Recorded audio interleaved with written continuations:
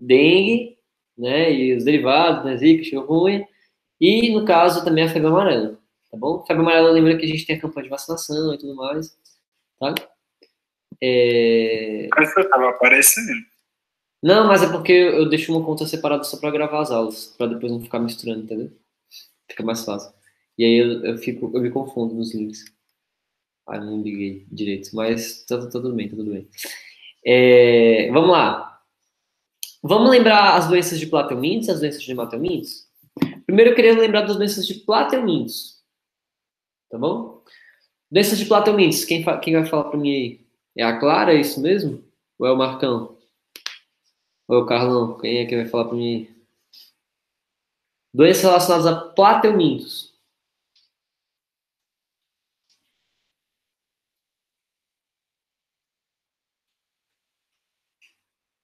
E aí? Se eu começar a falar uma, vocês falam outra?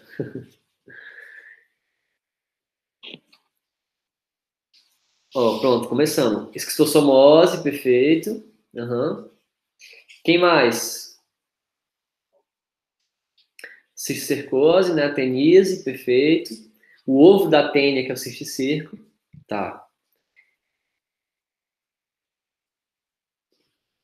que mais?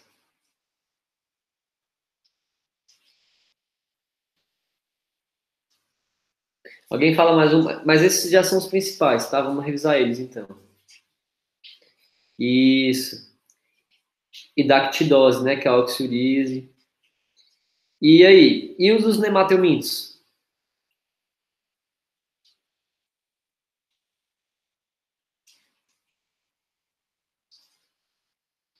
Ó, vamos lá. Isso, ó, oxio, ó vamos lá. Plateuminto, né? Teníase, cistercose e esquistossomose. Fechou. Nemateuminto, oxioríase, elefantíase, perfeito. Ascaridíase, tá? Beleza, Carlão? Lembrar disso aí, pô. É, quando a gente fala de. É porque tem. Vamos lá, vamos lá. Isso, mas lembraram bem os principais. Plateumintos. Perdão. Dentro de plateumintos, a gente vê tênia. E vamos lembrar, ó. Tênia ela pode vir da carne mal passada do porco ou da vaca. Se vir do porco, a gente fala que é a tênia solium. Se for da vaca, é a tênia saginata. Tá bom? Olha lá. Lembrar que a tênia solium, ela vai ter uma espécie de espinho, né, que a saginata não tem. A saginata tem uma ventosa. Então, esse cisticerco, ele vai, ele é que é o ovo, ele vai estar tá lá presente na carne mal passada que vai ser consumida pelo ser humano.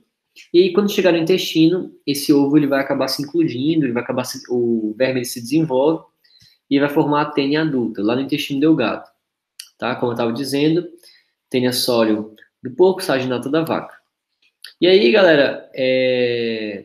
como é que esses animais eles acabam né, sendo é, infectados né, com esse verme? Esse ser humano que está infectado, ele vai acabar defecando ovos, né, de tênia. Esses ovos de tênia, às vezes eles são utilizados para, estar tá ali no rio, né, e o, o, gado ou os porcos eles vão acabar consumindo ali aquela água infectada, tá bom? E aí acaba que o verme ele vai se, se, se hospedando ali na, na, no músculo desses animais, que no caso é a carne. Perfeito? Esse é o ciclo da, da tenise. Se o ovo tá? Se o ovo da tênia ele for consumido pelo ser humano, acaba que o verme desenvolve no músculo do ser humano. Olha só que legal, legal, né? E aí vocês conseguem ver que, ó, isso aqui é um ovo na carne, tá vendo? E isso aqui seria um corte histológico desse ovo. Consegue ver que tem um um bichinho dentro, né? Ó. Delícia, né? Agora ninguém mais vai comer churrasco. Ó. e a, então a secose, se o homem acaba consumindo esse ovo, como é que ele vai consumir? Da mesma forma que o gado, que o porco consome, né? Na água contaminada.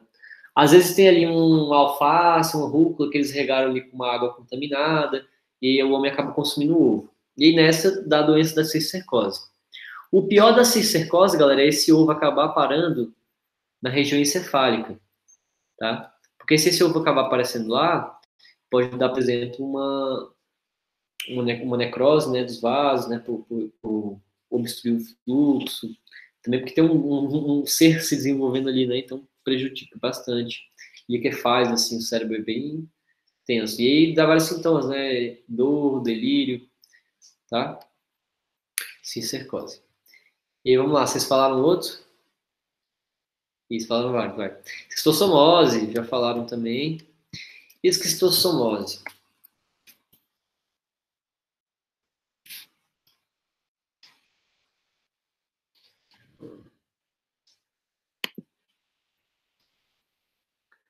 A esquistossomose, né, o ciclo dela vai ser composto de uma cercária que acaba penetrando na pele do ser humano. Só que essa cercária ela vai se desenvolver dentro de um caramujo, perfeito? Que é chamado de miracídio. Então, assim, ovos, perfeito, desses, desses né? Eles são liberados na água, tá bom? Que a gente chama eles de miracídios. Esses miracídios, eles vão acabar infectando, né? Nossos queridos caramujos, né? É, e aí, ele acaba se tornando um vetor para essa doença tá bom? Esse caramujo, ele vai ser, além de ser vetor, o miracídio ele vai acabar se desenvolvendo dentro dele. E aí nessa, ele se forma uma cercária. Essa cercária agora livre na água, ela penetra ativamente dentro da pele do, do hospedeiro final, tá? E aí ele vai acabar se desenvolvendo lá no... Ele vai entrar pela circulação, e quando ele entra pela circulação, gente, gente geralmente ele entra pela perna, tá? E aí ele tem que subir para o coração por meio do, do ciclo, né? Circulatório. E aí, para subir da perna para o coração, vocês têm que lembrar sempre que ele vai ter uma passagem pelo fígado, tá? E aí, como, imagina, ele penetra na pele, ele tá na circulação sanguínea cercada. Ela vai subir aqui, e aí para chegar no coração, para circular, tem que passar pelo fígado. Então, como ele tem muito acesso aqui no sistema porto-hepático, a gente acaba dando doenças hepáticas como a gente consegue ver esses meninos do buchão aqui, ó. Tá? Isso acontece porque, como ele tem que passar pelo fígado, ele acaba fazendo uma inflamação aqui. E essa hepatite, né, relacionada a, a esse verme, acaba interrompendo os, os vasos sanguíneos aqui. Aí acumula líquidos na região da barriga, porque está entupido o cano que leva para o coração para circular. E aí isso caracteriza um quadro de ascite, que a gente chama. Tá bom? Conseguiram entender? O pessoal tá falando comigo. Tá tudo bem, Edu? Edu manda mensagem aqui. É... Tudo beleza. Deu, deu. E vamos lá, quem mais, né? Vamos lá, não tem dor, não. É... Pá, pá, pá. Tá, e de nemateumintos? Qual o principal aí? Se você falar assim, ah, um principal.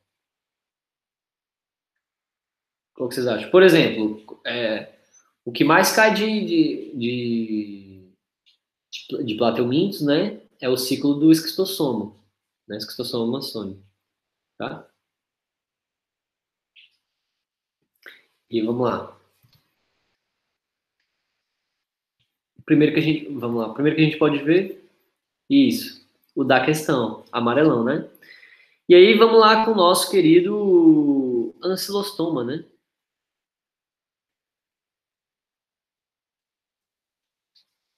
Vamos lá.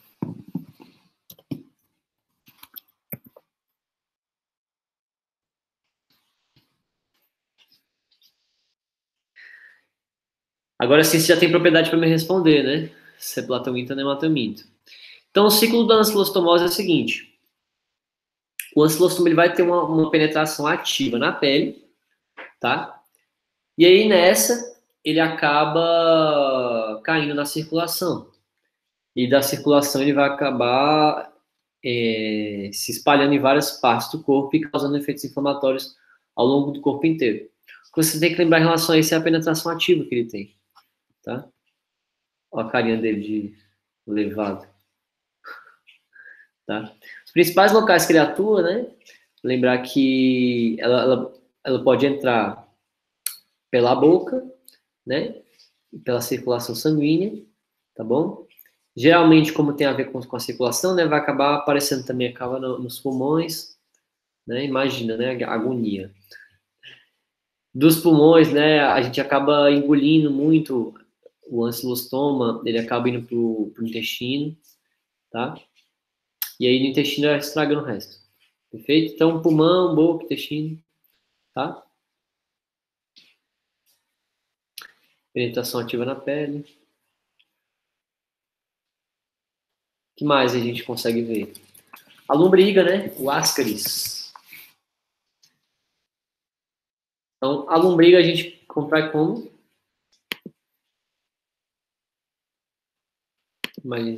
Aqui.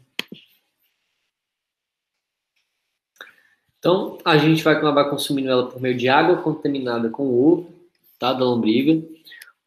Tomou água contaminada com ovo, essa lombriga se desenvolve no intestino e ela vai fazer uma coisa peculiar, que é o seguinte: é parecido com o ancilostoma, mas ela vai percorrer aqui ó, o intestino, depois ela vai acabar indo para o pulmão, e do pulmão a lombriga acaba subindo e sendo deglutida novamente, e aí nessa volta para o intestino. A gente chama isso aqui de ciclo de Loeffler, tá? Ciclo de Loss. E lembrar disso, a lombriga tem essa relação com o pulmão, relação com o fígado, com, com a deglutição. É bem parecido com o ancilostoma, tá? Além da lombriga, além dele, tem mais o quê? Filariose, né? Filariose lembra que tem a ver com linfa, tá? Lembra vasos linfáticos, são os vasos de defesa. Linfa, lembrar de linfócito, né? E a filariose é uma beleza, né? Tem um mosquito de vetor de diferente, que vocês têm que lembrar, tá? Então, a gente vai ter esse mosquito que não é o mesmo... Só para você ver.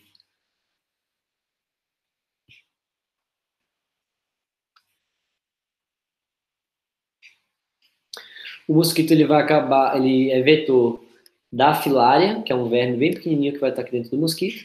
Quando o mosquito vai fazer o hábito dele de hematofagia, acaba transportando a, a filária para o sistema linfático desse, dessa pessoa, tá?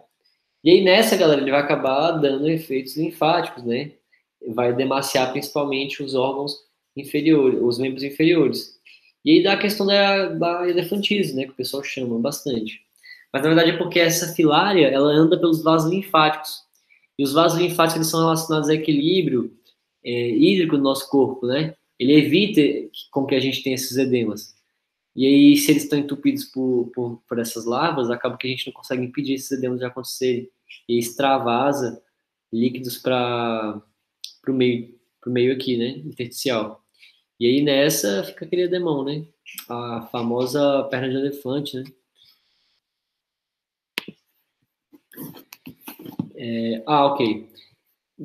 Bicho geográfico também, né? O bicho geográfico ele tem uma ativação na ele tem uma penetração na pele igual a, a, o ascaridismo, efeito penetração ativa.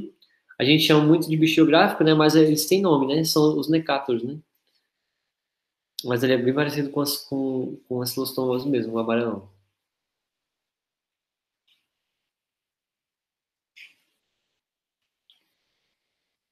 Uh, Jardíase também a gente não falou, né? Mas jardim de alta pegada, né? Tá chegando aí. Então, beleza. Amarelão, cinostomose, já entenderam, né? Penetração das lavas na pele. Aí aquele já vem com malária, né? E já coloca ali agente causador, protozoário, exatamente. A malária é causada por meio de um protozoário e a gente também vai ter um mosquito o quê? Vetor. Perfeito?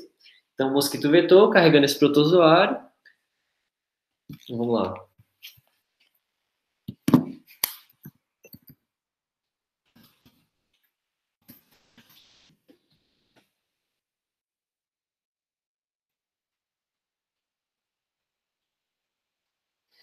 Vamos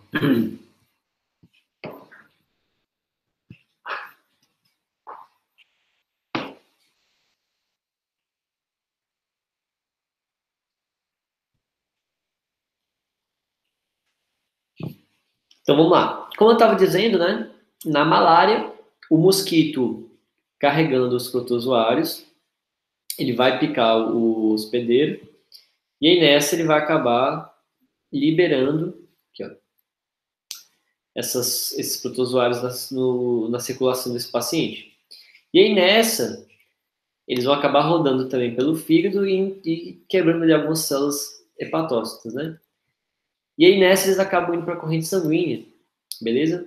Infectando também algumas outras células do sistema sanguíneo, componente.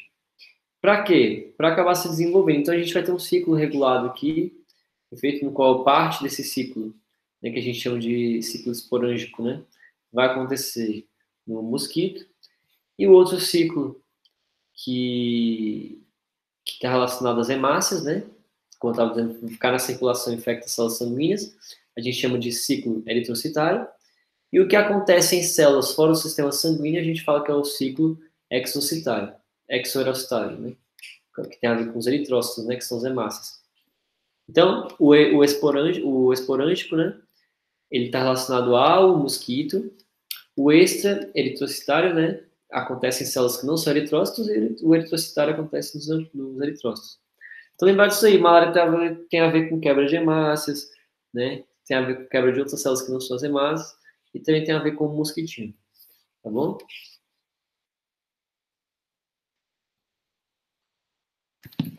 O que ele coloca ali nas alternativas, né? Giardias, né? Que ele coloca. E giardia, né? Também é feita por. Ela é causada também por meio de o quê? De um protozoário, tá? A giardia geralmente ela é consumida por, por águas contaminadas, né? Alimentos mal lavados, perfeito? E nessa eles vão fazer um ciclo de, de, de, multiplicação e desenvolvimento dentro do seu intestino, tá? Geralmente o pessoal defeca amarelo, né? Tem muita azia, muito gás, queimação, diarreia, passa mal mesmo, como se tivesse comido alguma coisa bem, né? Horrível, tá bom? Também tem muita produção de gás, né? Dói, dói bastante. Então vamos dar para resolver, né? Agora, né? Um, galera, vamos, vamos fazer junto? Cadê vocês no chat comigo respondendo? Vou botar aqui, ó. Vamos lá, ó. Um. O que, que é? Qual é a doença?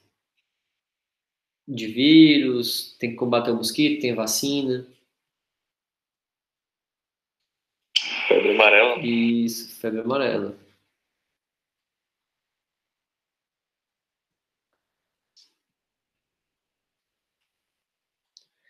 No 2, ó, forma de transmissão dessa doença.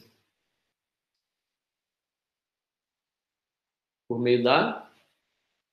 Picada do Aedes aegypti. Isso. Aí vamos lá. Amarelão, oscilostomose. Agente causador é o quê? Um plateuminto ou nemateuminto? Um nemateuminto, né? Lembra, gente, que plateuminto só tem tenha, cisticercose e o esquistossoma, tá? Nemateuminto. Penetração ativa na pele, como eu estava mostrando para vocês. É, medida profilática seria o que, então, galera? Saneamento básico, para não ter verme, né? Os vermes são saneamento, saneamento básico. A pessoa que não precisa cagar numa fossa, cagar, defecar numa fossa, uma pessoa que não, não, tem, não tem sistema de esgoto, acaba utilizando o mesmo lugar que, que rega as plantas, é o mesmo lugar que faz as necessidades. Então, isso prolifera esses vermes, né? Então, tendo saneamento básico ali, a gente, o sistema de esgoto, o sistema de escoamento, acaba que a gente evita essas doenças. Malária é uma doença causada por protozoário, e a forma de transmissão é o quê? Picado também do mosquito, só que agora não é o Aedes, é o Anopheles, né, que a gente chama. Anopheles darling. Perfeito? Lembrar disso aí, tá, galera? É, é fofinho, mas é trágico. Tá? O mosquito se chama Anopheles darling, tá? E Darwin morreu pela picada de mosquito aqui no Brasil. Né? Eles vão lá e botam o nome do Darwin. Pra mim parece piada de, de humor negro isso aí. É, bota o nome do mosquito lá dele, né? Imagina. É, e cinco, então, picada também, só que agora pela Anopheles, né? Anopheles darling. Letra C. Vamos para 3. Os néfrons são estruturas funcionais dos rins, que atuam na filtração do sangue e na formação de urina. Na figura a seguir, observe que o néfron é formado por um glomérulo, né, emaranhado de capilares, envolvido por uma estrutura chamada cápsula renal. A partir da cápsula sai um grande tubo, o tubo renal. O sangue proveniente das artérias renais penetra nos capilares do glomérulo, do glomérulo sob alta pressão, o que força a saída do líquido sanguíneo para a cápsula renal. Esse líquido de, se extravasa no sangue é conhecido como urina inicial ou filtro glomerular. Tá? Então, tem aqui um desenho de um néfron, né? Vocês já são bem familiarizados com isso. Só vamos revisar algumas estruturas, né? Essa aqui é a nossa cápsula renal, né? Ou cápsula glomerular, ou cápsula de Bowman, perfeito? Aqui dentro vai ter um glomérulo, por isso que o nome disso aqui é cápsula glomerular, né? Cápsula glomerular, tá? Aqui entra aqui no glomérulo a gente tem a, a arteríola aferente e aqui sai a arteríola é, ou perdão, aqui entra a arteríola eferente, que sai a eferente, tá? E essa eferente, ela vem aqui cruzando todo o sistema é, dos ductos, né? Tanto aqui o, o descendente como o ascendente, né, da alça. E aí a parte também aqui dos túbulos proximais e distais, tá? Vamos lá. Com relação a esse assunto, está sendo a alternativa correta. Então, a questão que eu falar sobre sistema renal, subnéfro, né? Lembrar que a função dos rins está né, tá relacionada à excreção, mas também está relacionada à questão também de equilíbrios, está relacionado à questão de equilíbrio de, de, pH, né? Excesso de, de, de, compostos, perfeito? Além também da regulação da pressão né, arterial, tá? Então, com relação a esse assunto, vamos marcar alguma coisa aí. de preferência alternativa certa, né não? Então, é, o sangue com maior concentração de ureia, que precisa ser filtrado no sistema excretor, chega ao néfron pela arteríola eferente. Gente, vamos lá. Ó. A arteríola aferente, ela se aproxima, aproxima. Então, ela chega pela aferente. E ela vai embora, ela se afasta, ela vai embora pela eferente. Tá? Ele fez um, ele trocou ali. A B. Filtração é, e a total reabsorção de grande parte da água e outras substâncias ocorre no glomérulo é, dentro da cápsula renal do néfron. Não, a reabsorção, galera, de água e outras substâncias, elas, vai, elas vão acontecer é, nos ductos mais distais. Então, no ducto distal e no ducto coletor, a gente vai ter reabsorção de água. Além, por meio das acopurinas, né?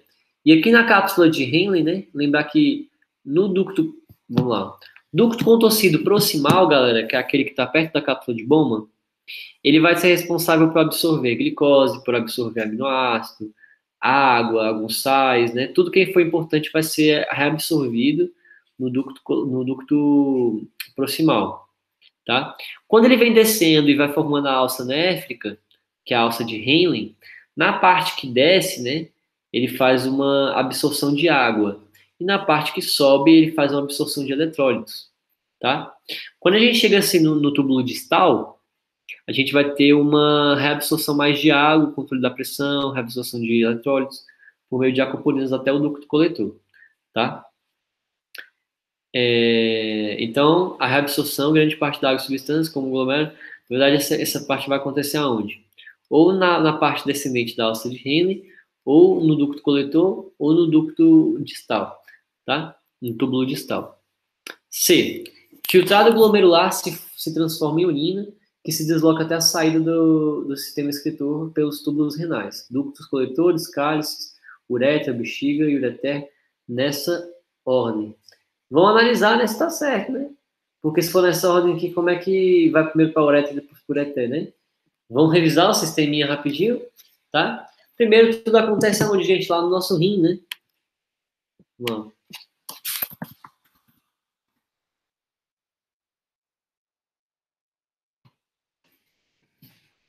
Ó.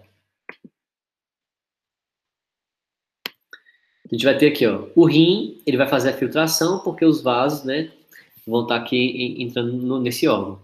Fazendo a filtração, ele vai pegar esse filtrado e vai jogar onde? No ureter dos dois lados. Esse ureter, ele desce com essa urina até a bexiga, e a bexiga, ela vai liberar essa urina por meio da uretra, Perfeito? O mesmo para o homem. Só que o homem ele tem, por exemplo, uma uretra maior. É, então, o filtrado glomerular se transforma em urina, que se desloca até a saída do sistema excretor pelos túbulos renais. Tubos coletores, cálices, é, uretra, bexiga, ureter, nessa ordem não dá, né, gente? Tá errado. D. O, filtro, o filtrado glomerular, que se desloca pelos túbulos renais, passa pelo processo de reabsorção de moléculas como, por exemplo, aminoácido, glicose, sódio de água, cianamida. Exatamente o que eu estava falando para vocês, tá? É, aqui no caso, a gente vai estar absorvendo tudo que é importante perto ali da parte do, do filtrado, dentro desse, desse, desse filtrado glomerular, principalmente aqui na parte do ducto proximal. Perfeito? Então, aqui no caso aqui, essa D está com cara mais certa, né? Nael, o filtrado glomerular apresenta uma composição química semelhante à do plasma sanguíneo inclusive com células de sangue, proteínas e lipídios que atravessam facilmente as paredes de capilares glomerulares. Gente, é, lipídio proteína não passa fácil, não, tá? São moléculas grandes, elas precisam de transportadores de canais para isso estar acontecendo, por isso só acontece em um local específico ali do, do néfron, tá bom? Então, que no caso é a letra D. Joia? Vamos lá. Os ruminantes, como bois e as cabras, são mamíferos herbívoros que possuem estômago grande e dividido em vários compartimentos. Esses animais arrancam as folhas das plantas, em geral gramíneas, e as engolem rapidamente, praticamente sem mastigá-las. Assim, para auxiliar o processo de digestão química, micro-organismos coexistentes ao longo do tubo digestório dos ruminantes. Então, lembra, gente, a gente vai ter ali uma, uma, um processo ali no qual os ruminantes eles têm bactérias no intestino que vão estar tá recebendo dessa, dessa grama, né, dessa, desse vegetal, e transformando ele em energia, né, por meio de células que conseguem ter a, a celulase, né, que vão fazer esse processo de quebra e de transformação da celulose em energia. Perfeito? Então, com base no texto dos conhecimentos sobre os processos digestivos mamíferos, vamos lá. A digestão química da celulose componente da parede celular de vegetais, ocorre inicialmente na cavidade bucal dos mamíferos. Não, vai acabar, galera, é, acontecendo no rumen, que é um estômago cheio de dessas bactérias lá que os ruminantes têm. Perfeito? Isso que caracteriza eles como ruminantes. Lá no, no estômago rumen tem essas bactérias que conseguem fazer a quimiossíntese ali da celulose. Tá? B. A associação citada no texto é, entre os micro-organismos animais ruminantes é um exemplo de relação harmônica intraespecífica, conhecido como mutualismo. Na verdade, galera, é, isso aqui deixa de ser um, um mutualismo e, e, começa a ser uma, uma, uma, uma, junção mesmo de dois organismos, né? É, é mais específico do que o mutualismo, perfeito?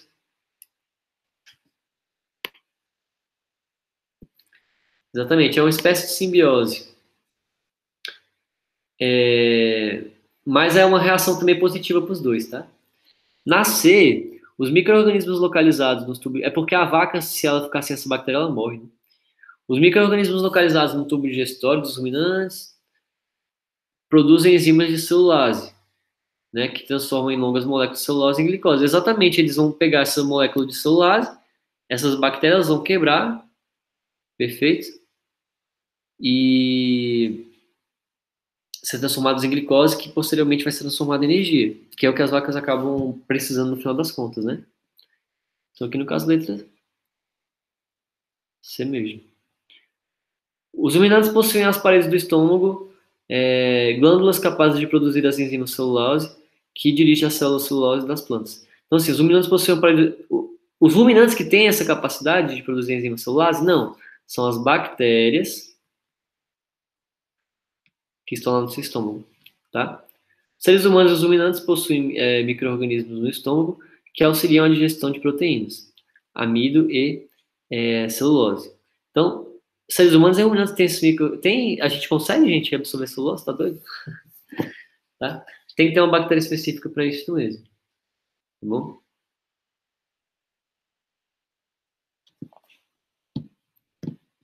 E professor? Oi, diga, diga, diga peguei meu cachorro hoje comendo grama Mas eles fazem eu isso. fui ver na internet. É um processo Aí- de cura. Eles fazem Eu isso. vi uma matéria que dizia que é, um dos motivos, um dos motivos possa ser que seja um costume, que o cachorro pode criar esse costume de mastigar a grama porque gosta.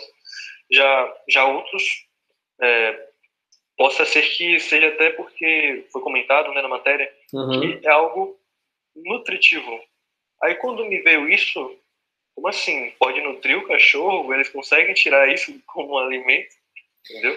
É porque, por, eu- por exemplo, é, a gente não come sala, alface, rúcula, pá.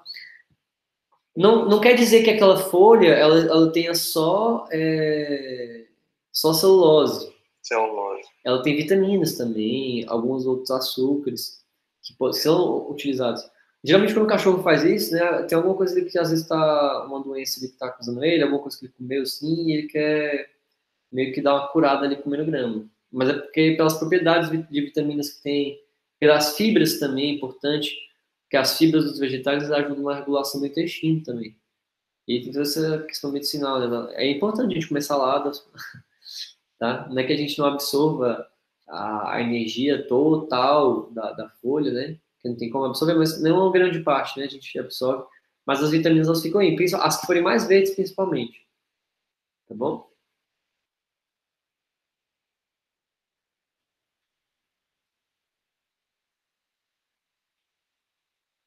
Ótimo incentivo, já não gosto. É, pois é, mas é- vale a pena, velho. Vale a pena, vale a pena.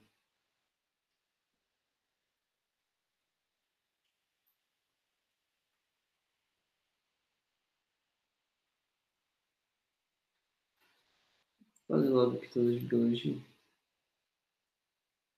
É, Vamos fazer uma de química para dar uma quebrada, aí a gente depois faz química e biologia de novo. E aí eu vou. Gente, eu, eu- vou até fazer um intensivão depois de matemática e física, porque nesse Natal aí tá, tá puxadão. Pra gente aqui, os monitores estão de férias, vai tá, tá puxado. Mas vai dar, vai dar bom, vai dar bom. Vamos fazer uma de, de química aqui, só pra gente dar uma quebrada, tá? É, como eu tava dizendo, gente, química orgânica vai cair e vai ser fácil, olha só. Essa 13. Um importante processo do metabolismo dos seres vivos é a descarboxilação de aminoácidos, transformando-os em aminas, né? Essa reação é catalisada por enzimas do tipo desoxcarboxilase. Gente, nosso corpo ele pode pegar um aminoácido e ele vai quebrar ele em aminas, tá? A gente consegue fazer isso porque ele é um aminoácido, né? Tem um ácido carboxílico que tem uma amina. A gente quebra só a parte da amina, perfeito? E aí, no caso da molécula, está sofrendo uma desaminação, porque ela perde a amina, o aminoácido. E aí tem aqui, ó, a histadina, né, formando histamina, e aqui tem o ácido glutamínico, é, apresentado na figura, pode sofrer um processo semelhante.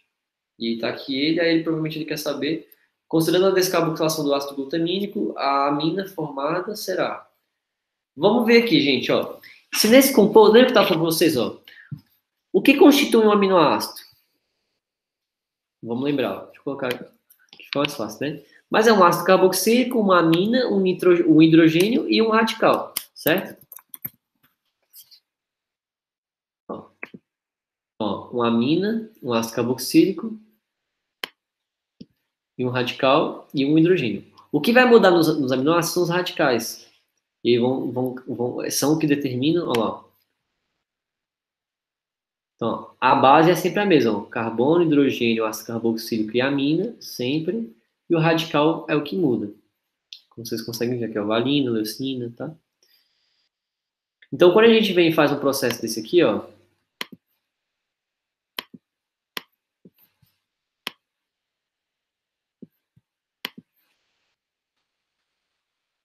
ó, consegue ver aqui que a gente tem, ó, carbono, carbono aqui. Ué, cadê minha caneta?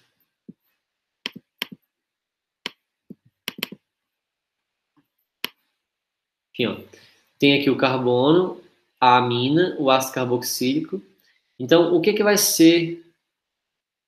Entender.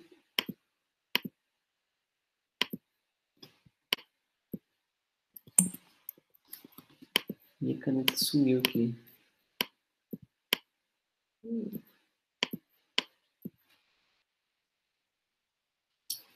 Ai, que saco, velho. Enfim.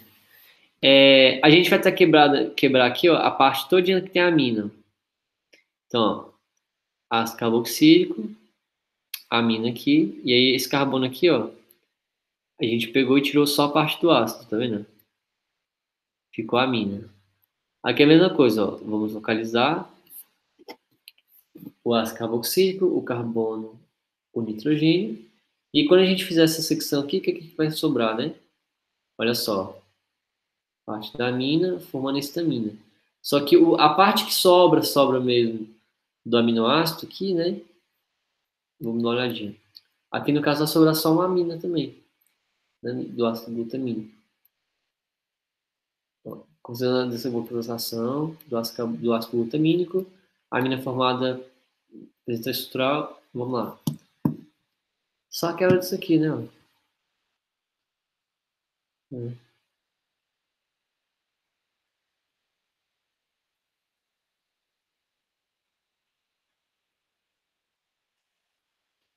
É. Só a quebra dessa mina aqui. Sem ramo, sem nada, sem hidroxila. Resposta que vai acabar sendo letra A mesmo. Porque, tipo assim, ó, vai quebrar que vai virar só uma mina mesmo. E aí ela é ligada a hidrogênios, sem ramos, sem hidroxilas, tá? E a outra aqui é de identificar a função, né? Na 14, ó. As funções orgânicas presentes. Professor, Oi, pode falar. eu, eu acho que eu acabei me perdendo, porque você pode subir um pouquinho na imagem? Isso. Eu estava achando que o primeiro composto dessa proteína, é, a partir do processo de descarboxilação, Uhum, era só feita a retirada desse grupo carboxila, não era? uhum. E deixavam um hidrogênio, e ficava lá essa molécula nova, amina, não é? Isso, a gente. pra- a gente- Ah, pode falar, pode falar. E, e olhando para a molécula de baixo, dá para notar que tem duas carboxilas, mas claro que a carboxila de baixo é o radical, tudo bem. Mas então se tirasse essa carboxila Sim, ó. que é da proteína mesmo, não teria que restar não só a a amina primária, mas também todo o radical restante. Então, mas é, foi o que sobrou, olha só. Pega essa molécula aqui e deixa só a função amina. Ó, apaga isso aqui e apaga isso aqui, que são os ácidos, né? O que que sobra? Essa parte aqui, né? E aí, isso é o que tá aqui, ó. Ó, um, dois, três e a amina, né? Um, dois, três e a amina. Entendeu? A gente vai fazer um processo aqui no qual a gente só tira o ácido, ó. Tira o ácido. Ah, entendi. Tá vendo? Tira o ácido, aí o que sobrou foi isso aqui, ó. Agora eu entendo. Porque eu É porque não tava eu riscando. minha não- É que minha não caneta voltou agora. tirava É. de touro, entendeu? Não, sim, mas é é só porque voltou agora a caneta. Aí deu pra riscar. É, você só vem e tira o, o carbono, o, o, o, o ácido carboxílico. Isso aqui, gente, é importantíssimo pro Enem. O Enem cai desse jeito. É assim que cai o Enem. Você vai, ele vai dar uma reação dessa aqui para vocês.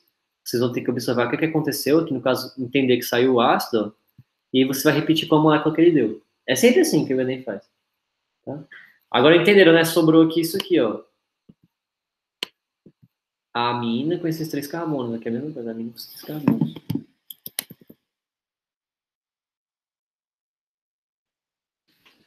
Beleza?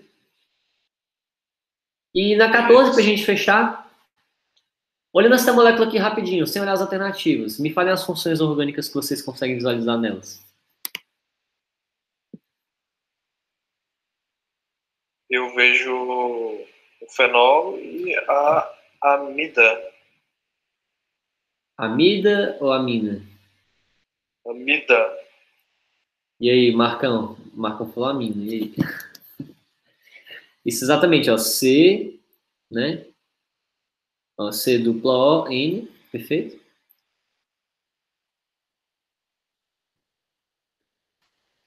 E aí, isso caracteriza amida, viu, Marcão? Não é amina.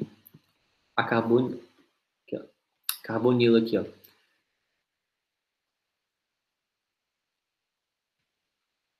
E aqui a amina com carbonila vira amida, né? Então, as funções que a gente consegue ver aqui é o quê? Fenol e amida. Letra E, tá? Então, sempre vai ter uma questãozinha dessa, tanto no CEUB quanto no, no Enem. Tanto de reações orgânicas, você identificar e aplicar, como também de identificar as funções. Eu estava até falando isso na revisão mais cedo, né? E, galerinha, por hoje. é